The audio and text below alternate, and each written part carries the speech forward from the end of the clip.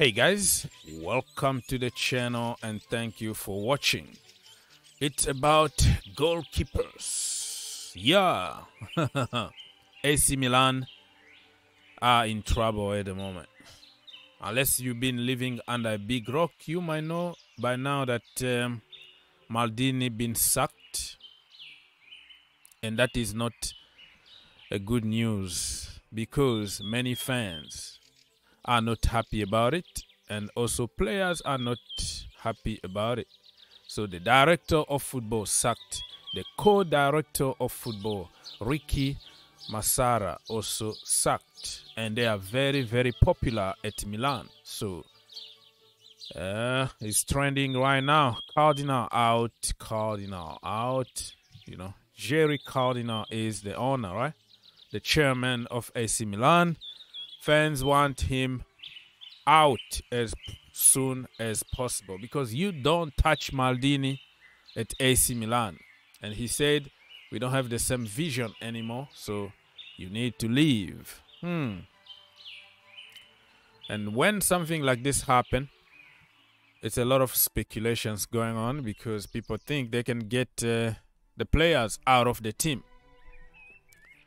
So, uh, in the Chelsea community, the name that's been trending, not only in the Chelsea community, every community, Manchester United, Manchester City, Liverpool, Arsenal, everybody want a player from AC Milan. It's entertaining, but do you see this kind of stuff happen just because they sacked somebody? I don't know about it. So this could impact a lot of things at Chelsea Football Club. We know that um, Chelsea are looking for the goalkeeper. And Mike Maignan is one of the best goalkeepers in the entire world. And when you say Kepa can play the ball from the back or he's specialist in penalties, that is a big lie because he doesn't even he can't even tie the shoes of Mike Maignan.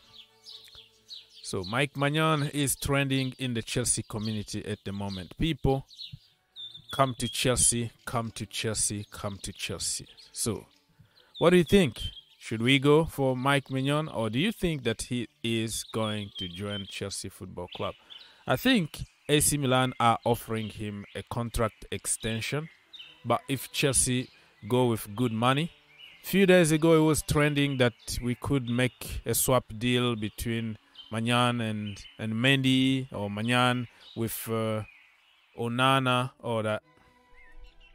So uh I don't think I, I don't think the swap deal is gonna happen, but if you present a good project to Maignan and he knows that he's gonna get more money at Chelsea Football Club, something might happen. Because if he refused to sign contract extension. I think he still has like two years left on his con- current contract. He said, I'm not going to sign a contract, I'm leaving. I think they're going to cash on him. So for me, I'm okay with Mike Maignan. But when it comes to Onana, listen, this is my own brother, right? Don't get me wrong. I, I just don't feel it. I don't feel anything about Onana. He got to a lot of trouble in the dressing room at Barcelona, at Ajax, and now at Inter, and even with the Cameroon national team. There are always some trouble caused by Onana. So I don't want to that's a Chelsea football club. And he will come out like publicly in the media and say, I don't care about the fans. I don't give a damn, you know. I don't want to use the word that he used, but He's just showing the, the fans a middle finger that I don't care. That is not the good attitude to have at Chelsea Football Club because you're going to get criticized after every single bad game. I know we all know I'm not in my best shape right now, and people can. Oh, now, now, you're saying it. Yeah, but that is the truth. I didn't play for long, and people can say what they want. I don't care. You know, I just do my thing. If you are angry, it's your problem. If you are happy, it's your problem. So for me, yeah. that's a matter. Only, only take the critic from the coaches. For the rest, they yeah. can sing, they can cry. I don't give shit. Yeah. And you don't give a shit that uh, no, I think no. You're, you, are playing less than. Uh... This is how I become who I am. So why I'm going to play that game listening what people said.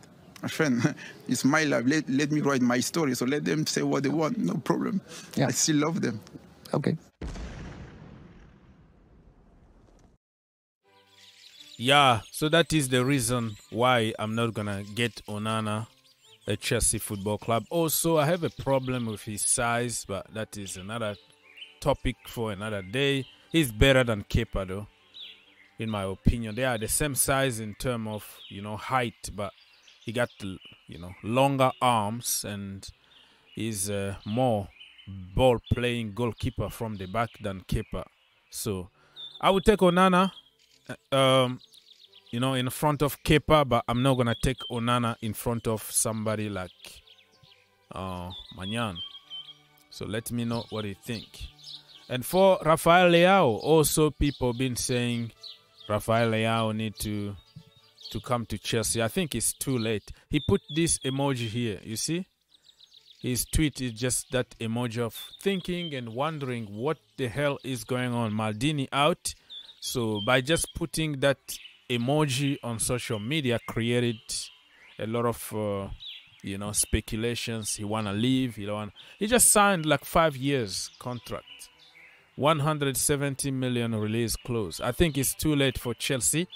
Before um this guy here Mykhailo Mudryk came to Chelsea I really wanted Leao at any cost at Chelsea Football Club. This is a way of saying because I don't want to overpay, but one day and one day only, everything changed. Chelsea flew to Turkey, got the deal done for Mykhailo Mudryk. I didn't even expect him. I took it seriously when he was already on the airplane coming to London. So I'm gonna have to support Mykhailo Mudryk. I think he's gonna improve. But my number one choice was Mr. Leao. So let me know if you think that he can cancel the contract and somehow Chelsea can spend 170 million on Leao. I think it's too late for me. I don't see it happening, but it's good to entertain people, right?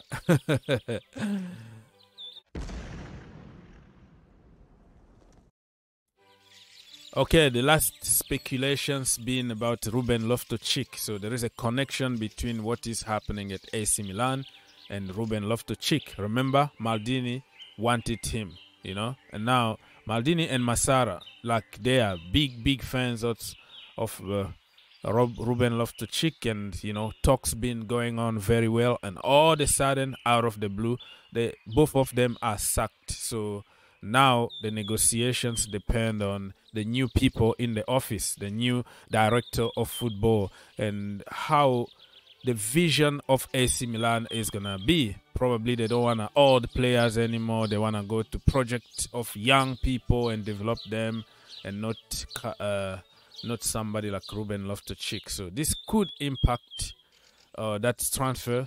But regardless of what's gonna happen, Ruben Loftus-Cheek is going to find a good club somewhere where he can play week in and week out. And good luck that if he doesn't get injured, I think he's um, uh, he's going to be a very very good club, uh, good club, good player in whatever team he's gonna be because he's a bowler. You know, I wanted to keep Ruben Loftus-Cheek for the squad, but also I'll be happy for him to to enjoy football instead of sitting on a bench and waiting just in case something happens so we can use you.